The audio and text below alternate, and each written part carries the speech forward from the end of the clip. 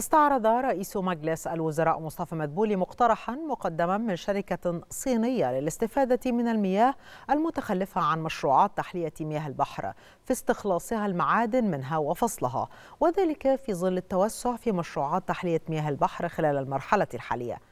جاء ذلك خلال اجتماع عقده مع مسؤولي شركة تيدا نيابة عن شركة تيان إي المسؤولة عن المشروع. أعرب مدبولي عن أمله أن يسهم هذا المقترح في تحقيق عوائد ذات جدوى اقتصادية. كما وجه رئيس مجلس الوزراء بعقد اجتماع خلال الأيام المقبلة مع مسؤولي الشركة لبحث تفاصيل المشروع المقترح وشرح تفاصيل التقنية المستخدمة.